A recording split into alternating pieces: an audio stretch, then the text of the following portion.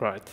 So I'm Lars Olofsson. I'm the team lead for the networking team. I'm based in Reykjavik. And with me is Jeremy Martin, the multiplayer service guy, based here in Boston.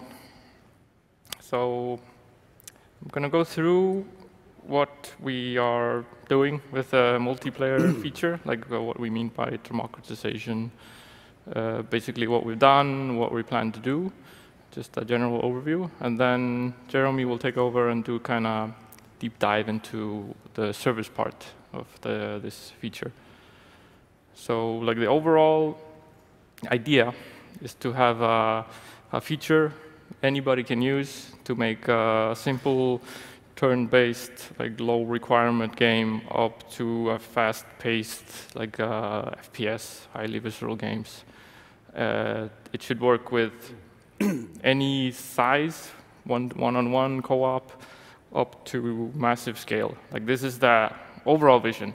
It's not like a one bite feature. Like we have to take it in chunks. So like we have uh, split it into three phases. Like this was mentioned at the roadmap talk today, but I'll just go through it again. Like uh, our first phase is sort of like a, like a foundation layer, just to get the, the API, the feature itself, like how you use it, uh, ready. And we shipped this already in Unity 5.1 and improvements in 5.2. So this is like a typical multiplayer uh, library with uh, support for hosted servers, like client servers in the same process, uh, server authoritative design. Um, we have the services you need to get up your connectivity, get infrastructure working. Uh, we rolled out with limited platforms initially, but we'll be adding them as we go. I think uh, we have the basic platforms, iOS, Android, uh, desktops, Mac OS X, Linux. Um, we're adding WebGL, Windows 10, Universal Platform. These, these are coming. They sort of work already, but they're not shipped yet.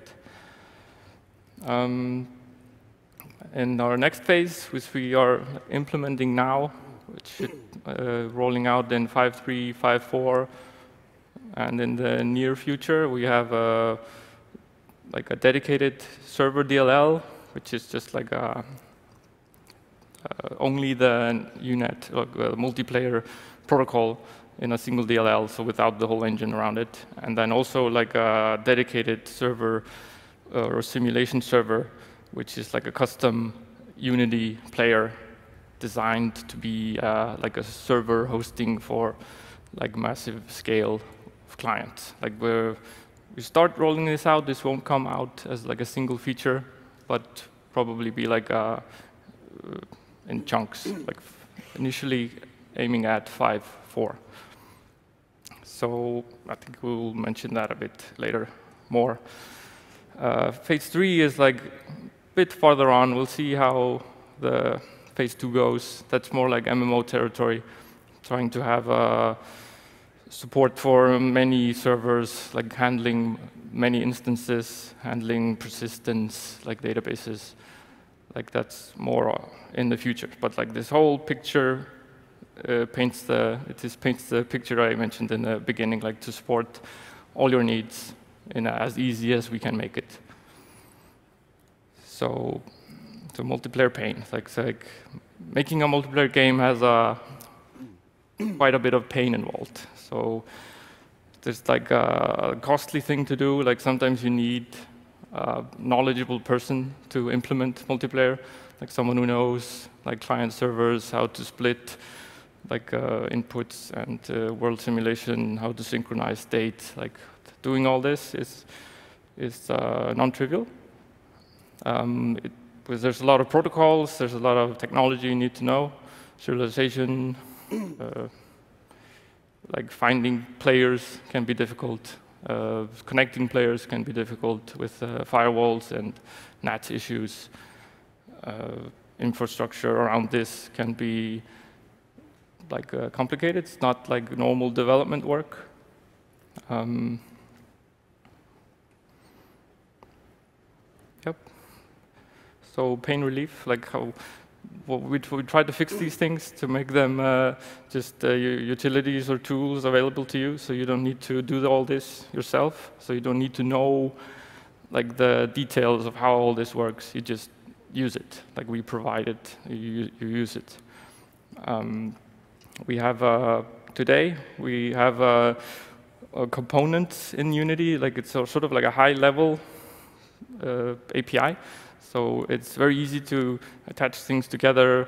We have uh, drag, drag and drop components basically to set up connectivity, to set up uh, position synchronization, to set up uh, state synchronization. It's all as easy as possible. But then below this, like this, all this is using a transport API, like a network transport class, which is basically like a thin layer on top of sockets. So you can use that then if you want to go deeper, if you need something custom. And we are working on like uh, open sourcing the, the higher level components so you can see how we do it. You can customize it, do it your own way if you want to. And then we have a Matchmaker and the relay server for the discovery and connectivity problems. Um, and we'll, Jeremy will talk a bit more about those things. Um, so this is a bit more just about what I was talking about, like the, the transport layer has uh, channels, multiple channels. You can have multiple levels of service, quality of service. You can have unreliable, reliable, fragmented. Uh, you can you can set up multiple connections with the transport layer. You can have uh, clients connect to multiple servers, dedicated servers for chat, for for for the game data, for whatever you need.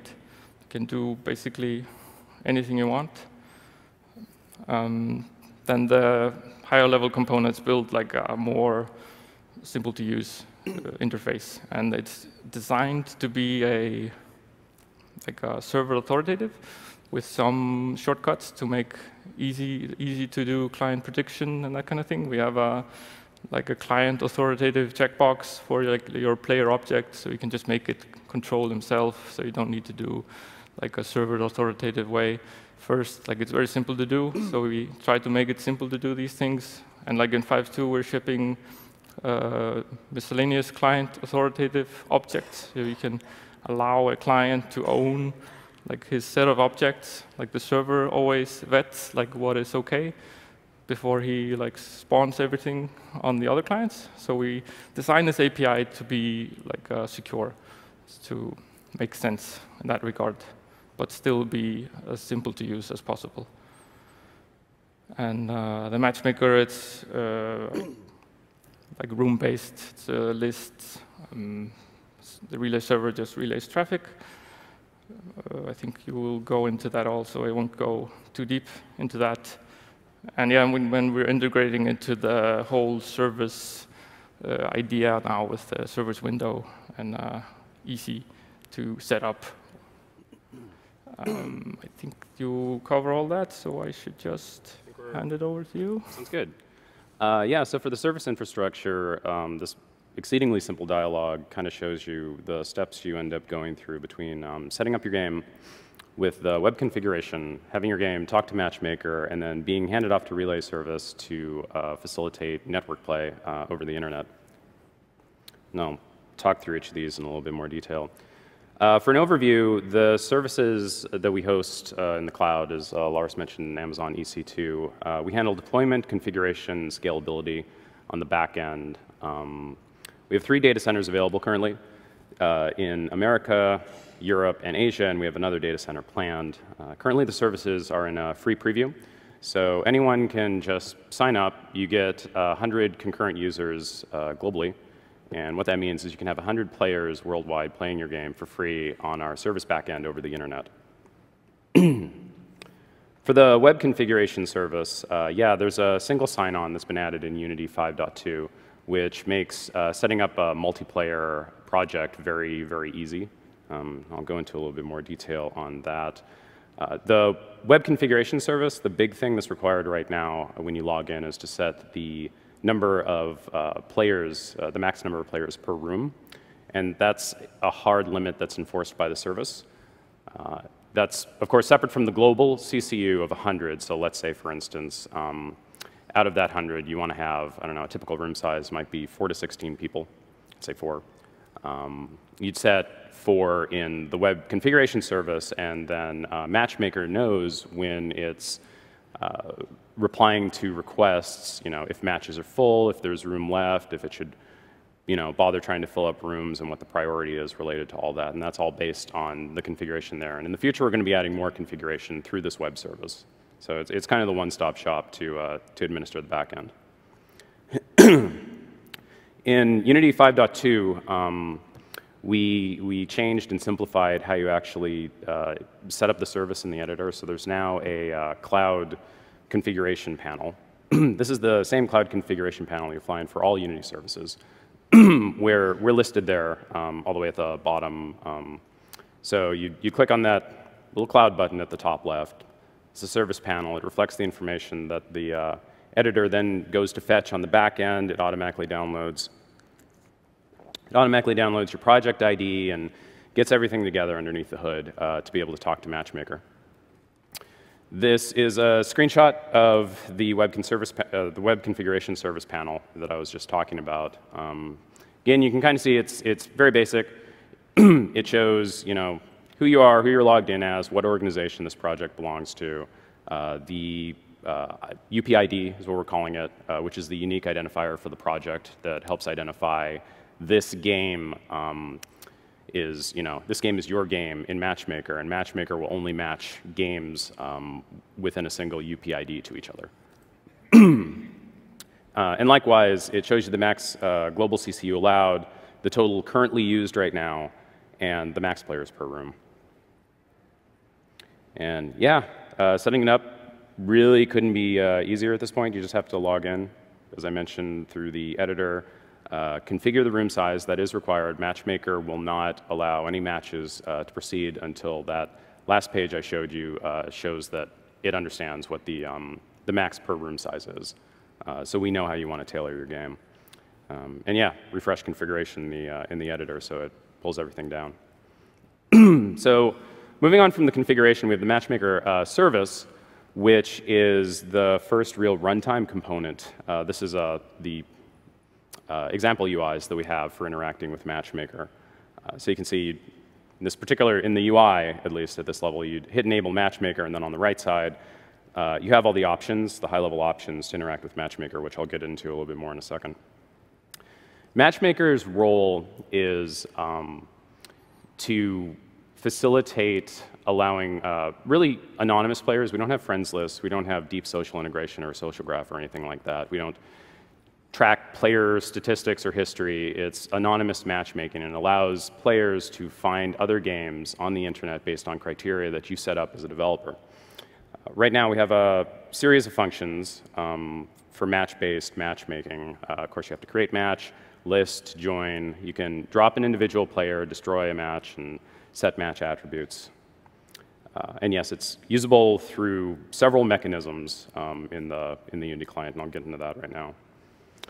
We have the matchmaker component, uh, which you can set up in the, in the editor. Um, you see how the configuration there on the left-hand side is kind of reflected on the right-hand side, like the match host ends up being reflected as this is the URL that you're going to connect to for the matchmaker.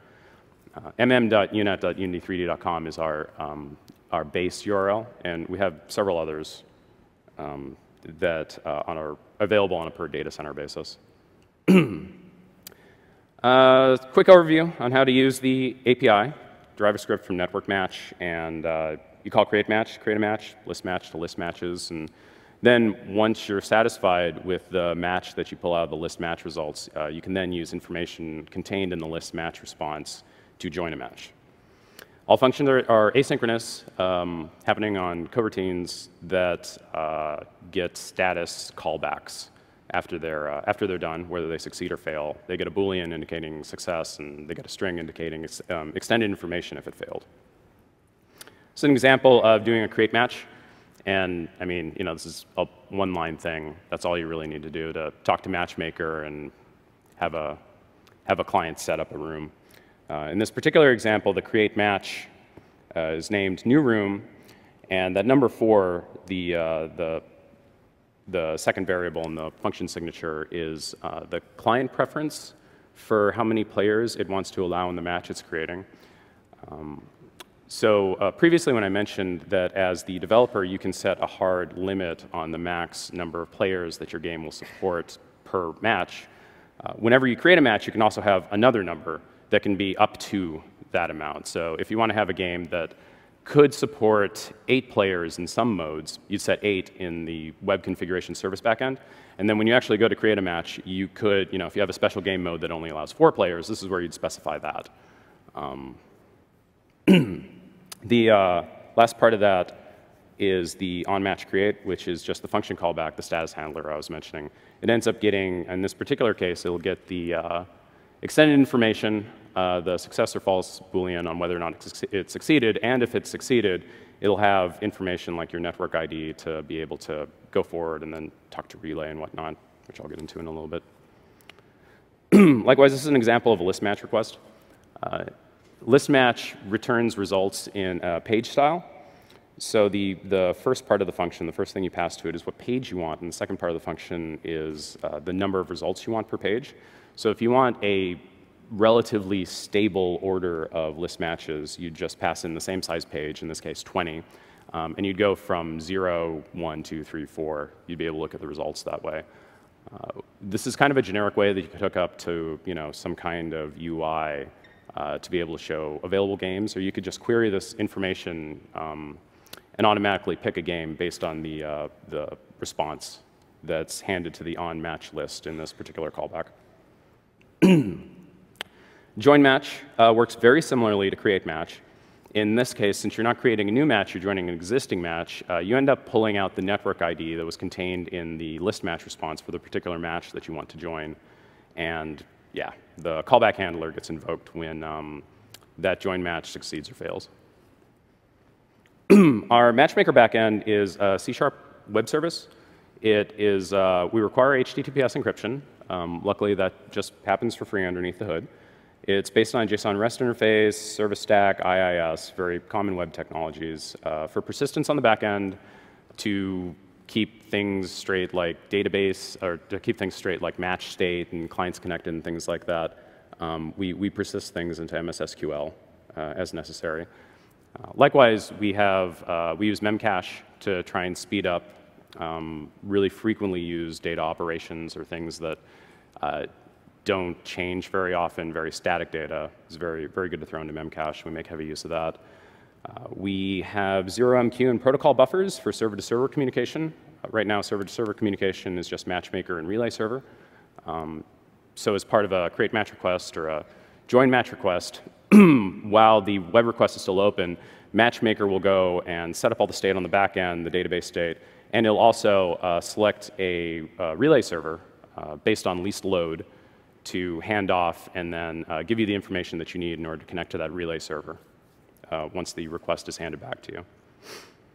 Uh, we have extensive performance data monitoring, so we can scale the backend service, perfmon integration, event log integration, site monitoring, uh, automated configuration management, so we can just throw up more servers, and um, it's all uh, hosted in Amazon EC2. uh, at a high level, this is kind of what the lifetime of the matchmaker looks like. You'll put together a JSON request, which is what happens when any of the functions I just showed you um, is called. That happens underneath the hood. Uh, actually uses the www object in Unity that ends up calling out to the, to the URL that's specified. Uh, if you just use the basic URL that was shown a little while ago, you end up being um, uh, sent to the most local data center to where you are in the world. So if you're in America, you'll end up in America. If you're in some part of Europe, you'll end up in our Europe data center. the data center itself has a HTTP load balancer, which then uh, hands that off to an appropriate uh, matchmaker instance, which services the request, like I mentioned, does all the back-end setup that's required, and then uh, ends up re uh, replying with a JSON REST response. the matchmaker is really just the service at runtime to set up, manage, and configure games um, that are going to be happening on the internet. Uh, one thing to kind of keep uh, note of is uh, some of these operations are sort of trusted operations. You, you wouldn't want someone, for instance, uh, griefing other players by you know calling drop player requests or things like that. So whenever you first uh, connect with an identity, it's not a thick login. We don't require players or anyone to log in. Whenever you connect with either a create match or a join match request, you end up getting a uh, authorization token, an access token. That token um, will uh, identify the device for the lifetime of its connection to Matchmaker and Relay. And it's a one-time use thing. We do support uh, rejoining. So if you, you know, if you leave the match and then the match is still going on, you come back and you choose to reuse the access token on the join match request, uh, you'll rejoin as if you were the same client. Uh, all the same data will happen on the back end. Uh, list match is completely anonymous. It doesn't handle an access token. It's purely there to enumerate matches uh, and provide the information so that you can then call the join match request. Uh, drop match is allowed if you are either the creator of the match, which is considered an administrator, or if you're the client that's being dropped. So if you're leaving, um, this doesn't happen in the uh, currently released version of Unity, uh, but probably for 5.3 we're getting a change in that's going to automatically call the uh, um, uh, drop client, actually, not destroy match. Um, it's going to call a drop client for everyone that leaves, uh, so you are instantly cleaned up in the backend database, and if you're the last one out of the match, the match ends up being cleaned up because of that. Um, destroy match and set match attributes always require admin privileges. Only the host can set that up.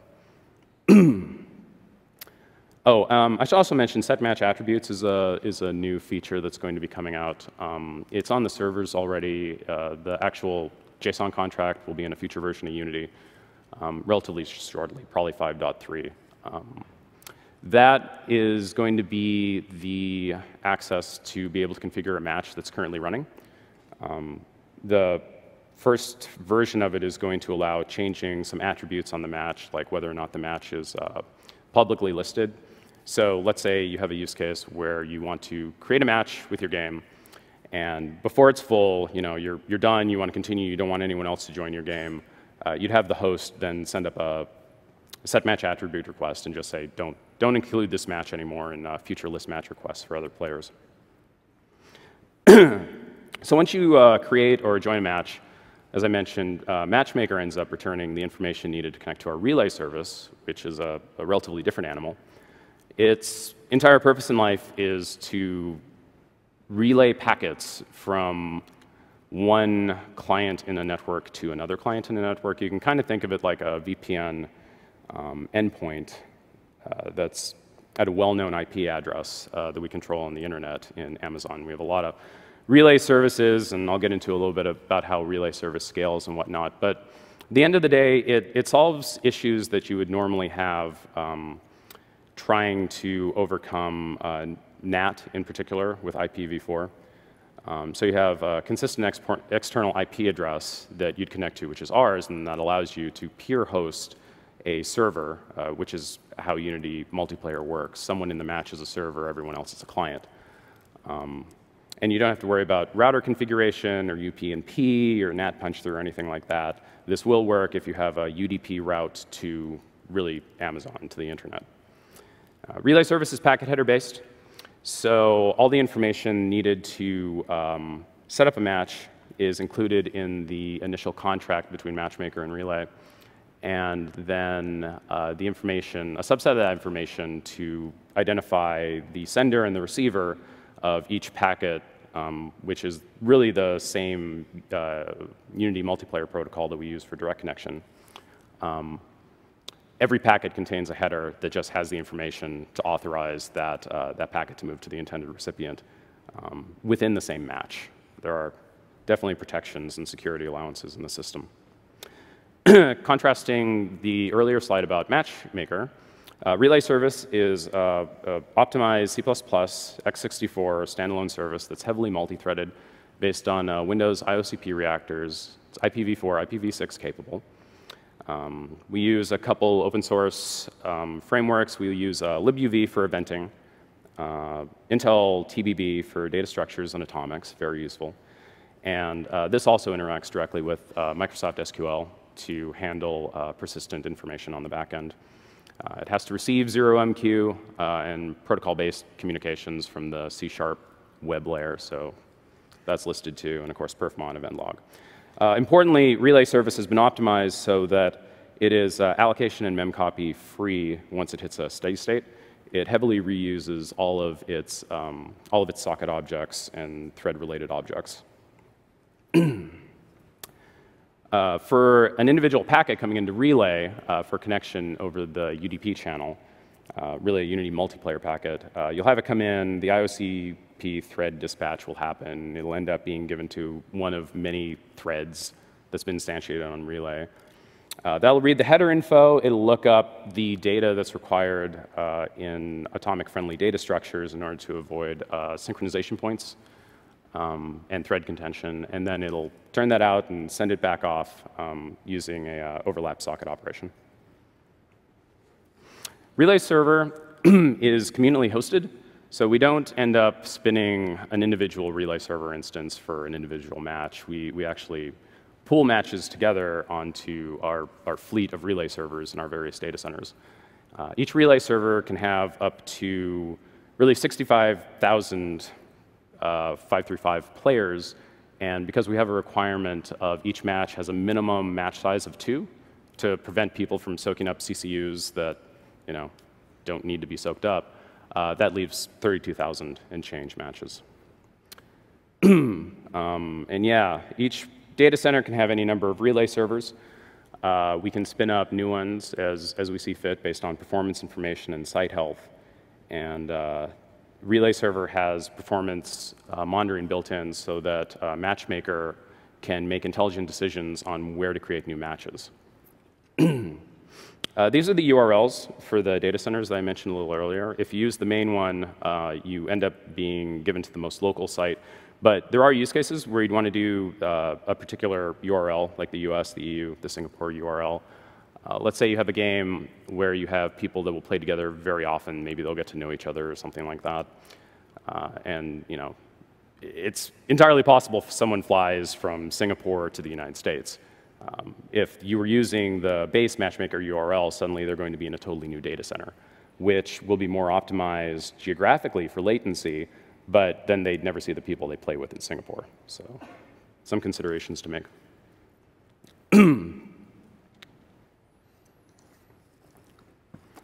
uh, Relay server does have some safety limits since it's communally hosted. We impose a 4K per second per player limit um, and very importantly, that includes all network headers. So uh, the IP and um, UDP headers do take up bandwidth, so we have to calculate that in addition to the data payload um, and the headers involved with um, the Unity multiplayer protocol. To try and be as fair as we can, that's calculated over the lifetime of the connection. So when you first connect, uh, each, each uh, player in a match, each client in a match, is given for free two minutes worth of bandwidth. And that's so we won't you know, instantly disconnect you if you have a very spiky uh, connection handshake that requires serializing a lot of data up front, which is a very typical use case. Um, and then in addition to that uh, two-minute grace window, you end up going forward and you're credited 4K per second after that. So in order to actually exceed the bandwidth limit, you need to be egregiously over the 4K per second, probably for a little while. Um, so the, uh, there's also a 30-second timeout. You can't stay connected indefinitely to relay server if you're not sending packets. We end up uh, cleaning you up so that we can um, give the seed out to you know another to another client that ends up requesting something on Matchmaker.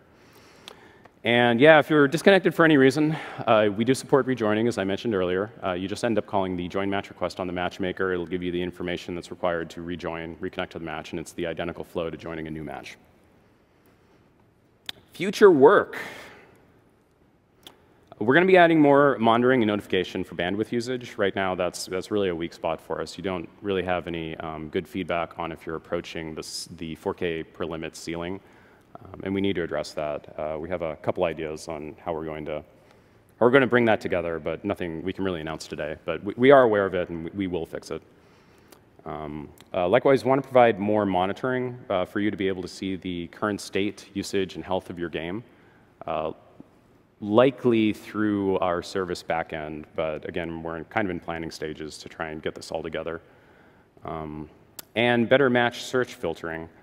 Uh, currently, the servers include the notion of uh, match attributes.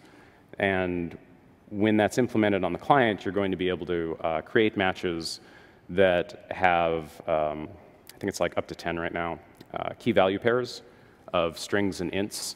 Um, and that's up to you to define what all those will mean. And then when you do list match requests, uh, you can filter against those network attributes to find exactly the kind of match you want. the uh, server library is something that we're actively working on right now. Um, should come out in a, soon in a future version of Unity. Um, hopefully 5.3, but that's, that's not a definite yet. It still needs to go through testing. Um, it's intended for non-Unity applications to interface with uh, a Unity client or server uh, using the Unity multiplayer network protocol. So if you have, if you have a heavy server use case or something that would just be inappropriate right now for maybe a, a headless Unity client to run, uh, you can create your own application or you can marry our protocol up to your application provided it talks uh, C Sharp in some way. Um, or you can load a C Sharp DLL and you'll be able to then, uh, over the network, use all the features I've described here, the Unity multiplayer protocol, the relay service, matchmaker, everything. For dedicated uh, server hosting, we want to allow developers to be able to uh, create and upload special builds uh, directly from the editor um, that will then host uh, in, in the cloud and you know, take care of scaling and all the other issues we've, we've fixed with our own servers. And this would actually be your game code that's running in our environment um, where we take care of a lot of the, the behind the scenes stuff. Um, yeah, so that's, that's something we're, we're also really just, just starting to dig into now. So it'll probably be a little while before this comes out, but it's definitely, it's on our to-do list. Uh, the reason we want to support dedicated servers is right now, with Unity multiplayer uh, being a, a peer server hosting um, system. Uh, you can have reliability or possibly performance issues sometimes for some game types. Uh, and, and, we're very aware that you know, while peer hosting is very convenient and, and definitely good for the majority of multiplayer use cases, some of them really would be better served by a dedicated server environment. Host migration. The uh, reliability brings me to this. So when you are hosting in a peer environment, um, you know, it's quite possible, like let's say you're on iOS or Android or something like that, and the, the uh, host of the match ends up getting a phone call. They tab out, the application, you know, stops responding, effectively disconnects. Right now, everyone would be forced to disconnect. The match would time out, you know, everyone would be a little bit grumpy, the play session would be over. Uh, but we have this new feature which allows host migration if something like that does happen. And I will tab out and show you how to set that up. it's uh, really, really, really easy. Um, I mean that because this is a space shooter with three A's. It's, a, uh, it's an internal demo that we use um, for, for testing some of our network things. Uh, but very importantly, it's just a normal project um, uh, networked with our, our higher level stuff with sync vars and replicated with RPCs and you know, the, the same tools that, that you'd use. Um, and it, uh, it, it right now will completely fall prey to everything I just mentioned with, uh, with a host going away. But if I take this project, go to the uh, network manager, which is over here, and then I add a, uh, a new manager, uh, which is going to be coming out in um, a future version of Unity, hopefully 5.3, yeah. Uh, this network migration manager will take care of all the logic required to migrate hosts when something does happen. That's it. No coding. Didn't have to drop to C Sharp. It just interacts with the existing code you would have set up uh, with sync vars to, to make sure that state is um, handed off appropriately and a new host is chosen. So I have a build, and that, that's you know, normally go to file build and all that stuff, but live demo, I wanted to have the build ready.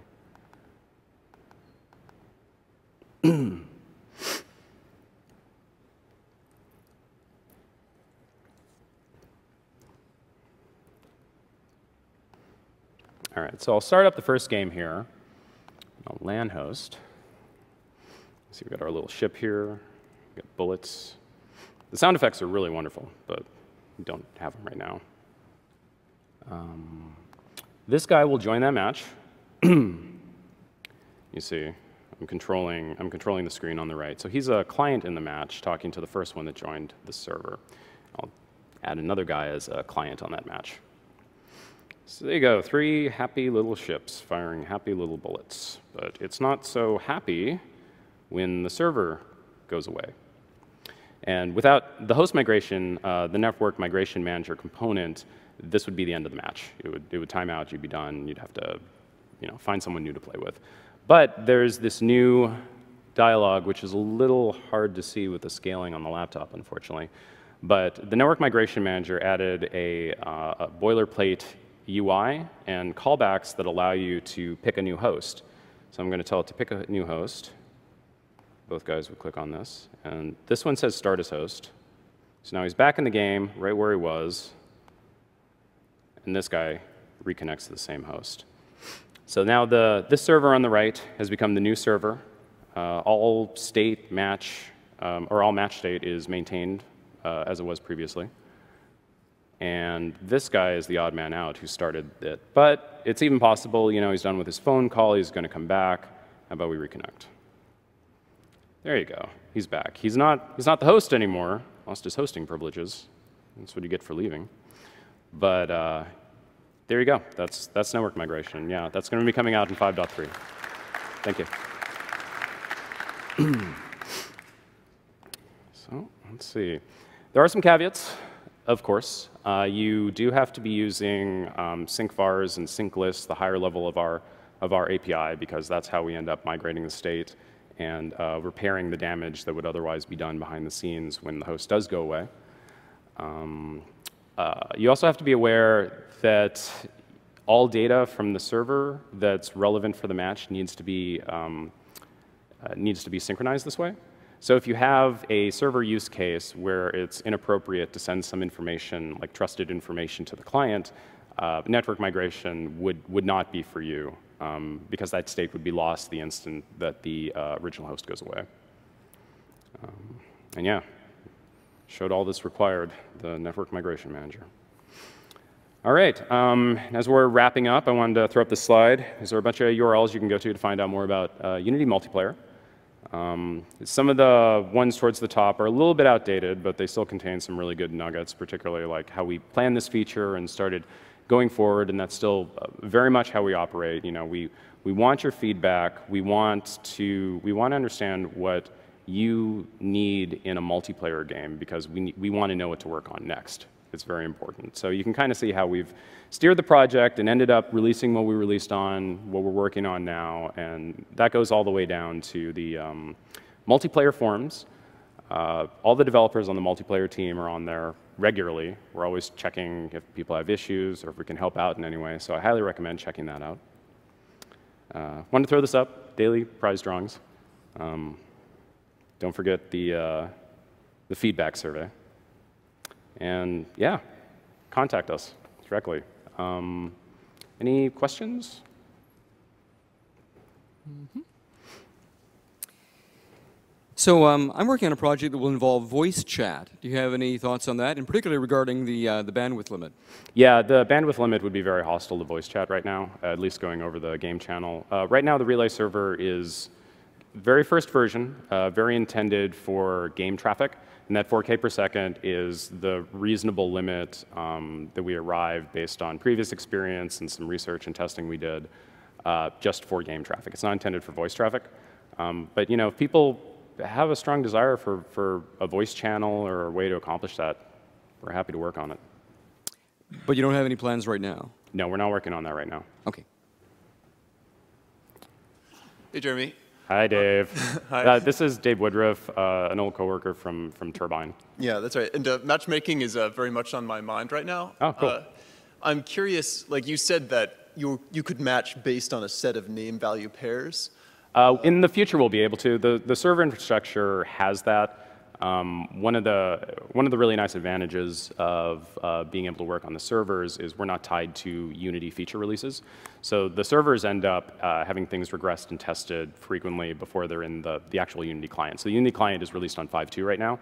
And some of these features uh, for the client contract are going to be in 5.3, but the servers kind of marching a little bit ahead of that. They're ready today, is really the. Okay. Uh, the thing I was wondering about is, like, I've uh, what we've been seeing, like with our matchmaking that we're working with, is that invariably the game designers want something that's not easily expressed just by like equality or like range checks. Yes. So like they'll want something like, oh, we want matches where these people like don't have a particular key, or like Yep. we want to match based on a range and then match inside another range. Yep. And all of this kind of like informs what data structures you really want to have on the back end. Yes. Uh, I- so I'd imagine that would be hard for you. If, It is. I mean, in order to accomplish that and catch every use case, we'd probably have to open ourselves up to something like an SQL-style query language, and you know that that can definitely go awry if we're afraid if we're afraid of people misusing it. But at the same time, what what the servers will have for a first pass implementation on that um, is uh, it's a little bit more sophisticated than range logic. You're going to be able to do you're going to be able to do math operations against the the integer side of the value pair. Likewise, you'll have access to a restricted uh, wildcard operator um, on the on the string side. So you're hopefully going to be able to cobble together most things, but I'm I'm sure people could come up with you know the unicorn that is not going to you know fit in the box. So okay, thanks. yep. Hey, um, I thought the server migration looked really cool. Thank you. Uh, I had one question slash suggestion about it, and that would be: Is there any sort of automated migration? Because if Yeah, were I- expecting, yeah, okay, keep going. No, no, you're, you're absolutely right. Uh, uh, great, great question. Um, I probably should have gotten to that a little bit more. But uh, that boilerplate UI was, was really just for demo purposes and to make it easy for you to get up and running. Um, so you really don't have to touch the code. But we do allow you to override that, and you'll have um, function calls that will allow you to put your game logic there. And you can pick the new host. Uh, you can you know, do whatever's appropriate for your game, query the player, however that works. So, Awesome, thank you. Yep. I had two quick questions. Uh, for the authoritative games, um, I mean, you, you could do that now, if I understand correctly, uh, using command and client RPCs, if it's, uh, you know, turn-based uh, strategy game or something. Second question is, do we still need a uh, policy server for WebGL networking? You want to field this? So yeah, it was the first part of the question. You you can do server authoritative today. The the high level API is all designed around that, and it just depends on like if one of the clients is the server, it's not maybe it's not super secure because the client I'm, can I'm do thinking more like a, a headless server somewhere. Yes, like exactly. With a headless server, today you could run a Unity player. It could be uh, act as a dedicated server, and it all all our API is designed to be server authoritative. So you can build that today. It all works. It's just like uh, the server would be like a normal Unity player, so it's not super efficient to run as a server. so the second part Uh, with do we still need policy servers for WebGL networking? So if there, let's say WebGL is, is connecting to this Yeah, but- server, Yes, so I don't think you need that for the WebSocket stuff we've been doing. No, not that I'm aware There, of. there was you didn't need that, no. But like, great, thank you. yes, Cool. Um, is there any sort of timeline for when the 100 CCU limit's going to change, or whether people will be able to host their own Yeah. matchmaker and relay servers? I, I wish there was. I mean, that's the question on everyone's mind when it comes to our services. Right now, we're trying to figure out the right way to, to, to do that. You know, we don't want to make a mistake when it comes to charging for this and how we're going to really offset the costs associated with uh, cloud hosting is, is the big concern. Um, so we're having those discussions today. You know, it's not that we're hiding anything or there's anything nefarious. It's we're trying to figure out the right, the right thing to do, the best thing to do for all, all Unity developers, and we don't have anything to announce right now. Yeah, so the big question, I think, is whether companies can host their own versions of matchmaker and relay in the future, possibly. Yeah, right now we haven't committed to that, but everything's possible. I know that we have other providers of these services already. They're represented in the sh- showroom, right? Yep. How do you compare to them, or why re- reinvent this when we already have services provided to us? Well, there's so there's different providers today, and I guess the probably I guess the main strength they have is that they have been there longer, they're more polished, more stable. But we'll get there. Um, I guess I could just mention that the relay server is similar to the Photon Cloud stuff. like other stuff like Bolt, I think Forge, like uh, Ulink, they have more like a dedicated server type, like uh, not cloud relaying, and we can do that as well. Like we are like the the future featured uh, Jeremy mentioned with uh, dedicated uh, server DLLs, the simulation server. We're getting more into that territory to support that better. So yeah, so Uh, because we can, great. what? Well, the answer is because we can. Yes. I mean, Hi, uh, I had a question about when the socket connection actually gets created.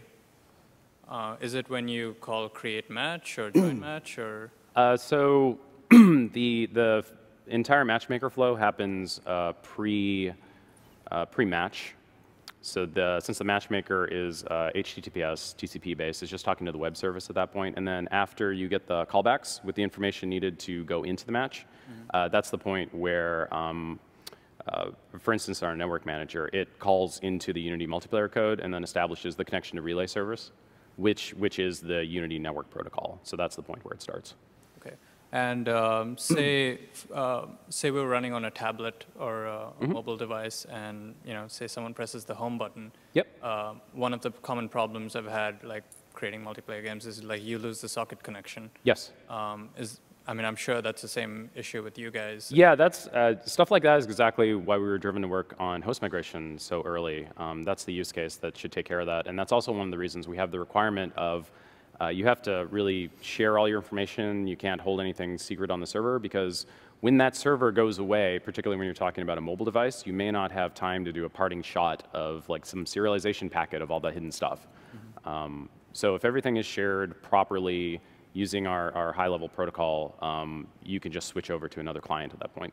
And it basically looks like, uh, since the, the host, the server, is also a client, it should just look like that client dropped and the match continues like Okay, nothing so happened. there's a timeout period where the other people get a. Uh, Yeah, it knows relatively quickly. I mean, you saw it in the live demo. Uh, that realized relatively instantly that it was done and, and did the, the switch over. okay, thank you. Yep. Um, yeah, just more general question. Um, so uh, compared to like www, do you guys are you expecting to like expose like general uh, functionality like that and maybe replace www? Or you like The, um, you mean for the matchmaker interface? no no just in general as networking um, like making web requests um, things like that uh, to support new features like HTTP 2.0 like things like that um, or just kind of more future roadmap for you guys. You so it's about- not, we're not doing anything specifically for like the dub dub dub class, but Yeah. there's another team working on like the web request class, which is like a replacement for that, uh, doing that properly. Uh, it's experimental in 5.2, but that's like a separate area. We're not, we are not working on that. Okay. Yeah. Cool. Um, so I guess that's it. Got about a couple minutes left if anyone has a question. Otherwise, uh, We're at the experts table. yeah, yeah, we'll be at the experts table until I think six today, and you know all day tomorrow when it's open. So please drop by, say hi, keep us company. Um, it's been a pleasure seeing you all. Thank you. Yep, thank you.